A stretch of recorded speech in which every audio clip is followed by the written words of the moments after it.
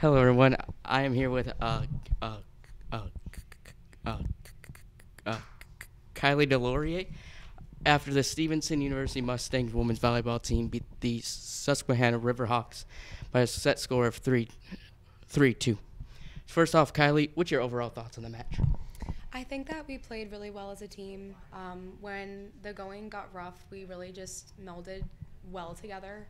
Um, we didn't quit, we didn't stop. We went for everything, and we just started to be more encouraging and picking each other up in a positive way, um, and just focusing on what we needed to do to win the match.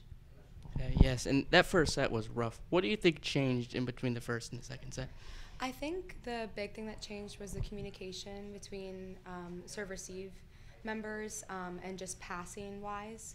Um, I think that we needed to just be in system um, and get the ball to our hitters and let our setters have a chance. And then we started to do that in the second set and started to pick up our pace of play. Yeah, and I think what ch- what changed was in the fourth set. What was the message in that f- final timeout in the fourth set?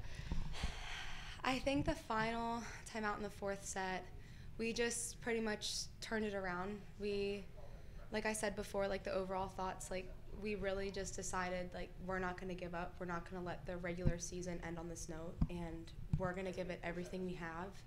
And if the ball hits the floor and they make a good shot, then we're going to give it to them. But we're not going to give them the easy stuff. We got that. We can pick it up. And again, we just started being positive with one another and just changed our mentality. Yes, and all of you guys, you did a fantastic job with that this evening. And lastly, going into the playoffs, you have Messiah. You beat them before this season. What do you expect out of them? I think they're a really great team. I mean, I think they're a very positive team, so um, that can be challenging to kind of take down their mentality sometimes. Um, I think that our team is capable of taking them um, and playing a really good match against Messiah here on Wednesday. Um, I think they are just a really well rounded team. They can put the ball down, they can be great. Um, they can also have bad days, just like us, just like every team out here. Um, I think it's just whoever comes to the court more ready and more determined to win. Uh, all right, awesome. Appreciate the time. Thank you. Thank you. Yep.